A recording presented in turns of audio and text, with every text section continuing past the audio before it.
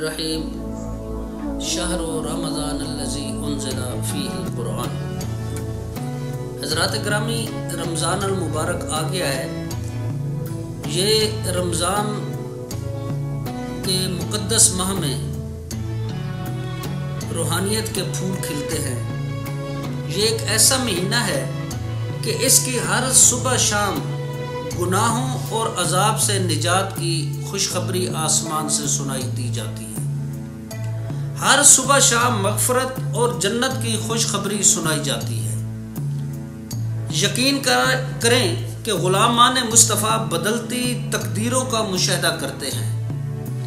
इस माह मुक़दस की हर रात गैब से आवाज़ आती है। अल्लाह ताला आवाज़ देता है कि ए मेरे बंदे, मांग, आज मेरी रहमत के दरवाजे खुले हैं और ये पूरा महीना मेरी रहमत के दरवाजे खुले रहेंगे।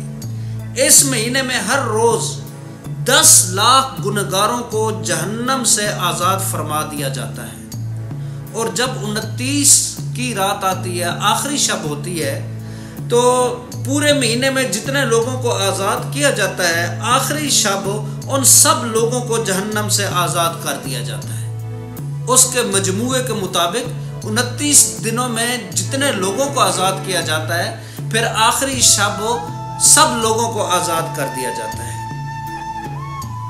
रमज़ान मुबारक का एक रोज़ा साल भर के रोज़ों से अफजल है। इससे बढ़कर इससे बढ़कर और क्या मकाम होगा?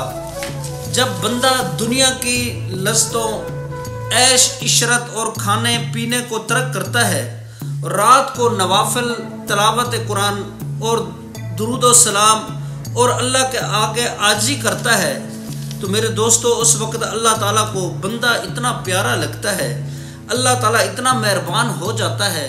अल्लाह ताला फरमाता है, हदीस कुदसी है कि अल्लाह ताला फरमाता है कि असोमली व अना अज्जी भी ए मेरे बंदे, तूने मेरी रजा के लिए रोजा रखा है। तूने मेरी रजा के लिए भूख काटी है। तूने मेरी रजा के लिए रात को जागा है, शब बेदारी की है। वह अना भी, अब इसका बदला मेरी ज़ात ही है। अल्लाह ताला खुद फरमाता है कि बंदा मैं फिर अब तेरा हो गया हूँ।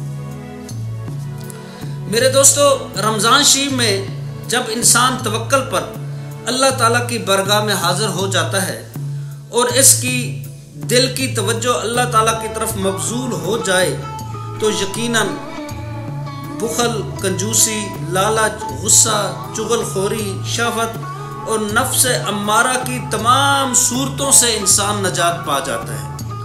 नबी सल्लल्लाहु अलैहि वसल्लम का फरमान है कि दुनिया में भूखे रहने वाले ही आखिरत में सैर होंगे।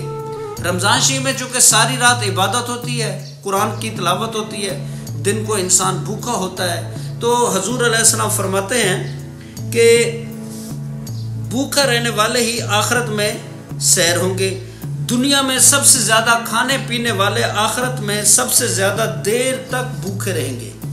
फरमाया कि भूख हिकमत का नूर है और पेट भरकर खाना अल्लाह ताला से दूर करता है।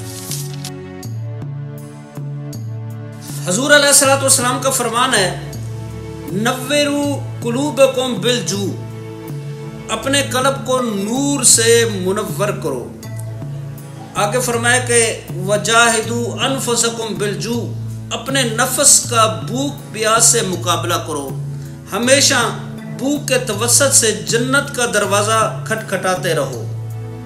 फरमाया कि करा बाबिल जन, जन्नत बिलजू जन्नत का दरवाज़ा भूख के तवसत से खटखटाते रहो। फिर फरमाया का फ़िनल अजरा फ़ी जाल का भूख रहने वाले को मुजाहिद फ़ी सभी के बराबर सवाब मिलता है।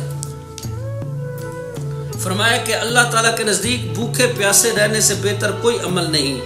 आसमान के फरिश्ते इस इंसान के पास नहीं आते जिसने पेट भरकर इबादत का मज़ा किया हो। तो मेरे दोस्तों, ये रमज़ान और मुबारक के अंदर जो हमें भूख नसीब होती है ये भी अल्लाह ताला की बहुत बड़ी नेमत है और इससे नफस जो है, वो नफ्स अम्मारा की बीमारियों से इंसान नजात पा जाता है।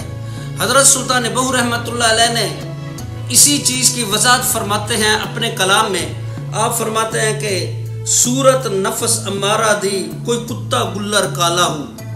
आप नफ्स अम्मारा को काले कुत्ते के साथ तशबी दे रहे हैं। सूरत नफस अमारा दी। कोई कुत्ता कोई कुत्ता गुल्लर काला हो, कूके, टूके, लहू पियो से मंगे चरब नवाला हूँ, खब्बे पासू अंदर बैठा, दिल दे नाल संभाला हूँ। ए बदबख्त है वड्डा जालिम बहू, अल्लाह करसी टाला हूँ। अल्लाह ताला मुझे और आपको रमज़ान मुबारक की सादतों से मुनवर फरमाए। और खुदा तला नफ्स अम्मारा की बीमारियों से भी निजात तफ फरमाए